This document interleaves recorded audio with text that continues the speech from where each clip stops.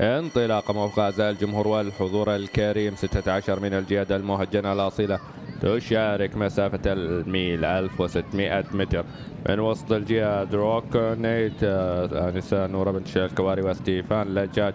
ومن الجهة الخارجية تعطى الإيعازات للجواد تروسني مربط المرقاب وأدريان نيكولاس. وتخطف الصدارة وفي الوصافة هناك الشعر الأصفر كرافتد. والفارس جيرالد أفرونش إبراهيم سعيد المالكي. ومن الجهة الخارجية رشيد مبارك سعيد جفال النعيمي والسنة ألبرتو. محاولة للحق من الجهة الخارجية. والجواد زكون ملك السيد أحمد حسن المالكي جهني. ولكن الصدارة جميلة وقوية وثنائية قوية. تروسني من الجهة الداخلية والجواد.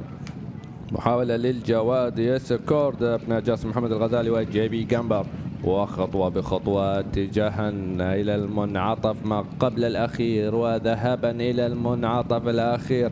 رشيدة قادمة من الجهة الخارجية بوضع جميل ومن الجهة الداخلية. نشاهد لا يزال الصدر مع تروسني والجواد يسكوت في وضع اليد وتعطى الإعازات شيرستون من وسط الجياد رشيدة من الجهة الوسطى أيضا ومحاولة. نعم شيرستون أحد الجياد المرشحة في هذا الشوط. ملك سمو الشيخ محمد بن خليفة بن حمد آل ثاني وكرافتد في الترتيب الثاني محاولة للحاق شيرستون يفوز بهذا الشوط. أعزائي الجمهور والحضور الكريم شاهدنا. ونتائج الشوط السابع. أعزائي الجمهور والحضور الكريم جاء بالمركز الأول. الجواد رقم 16 شيرستون.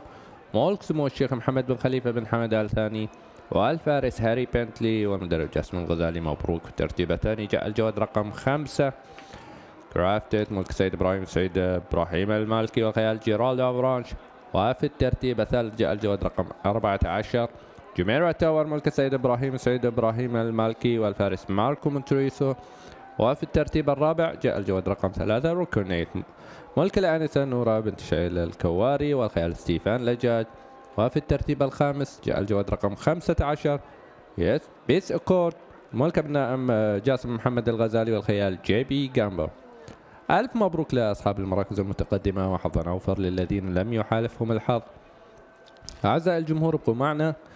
لمشاهدة الحدث الأكبر في هذا السباق وكأس المغفور له إن شاء الله يوسف الرميحي.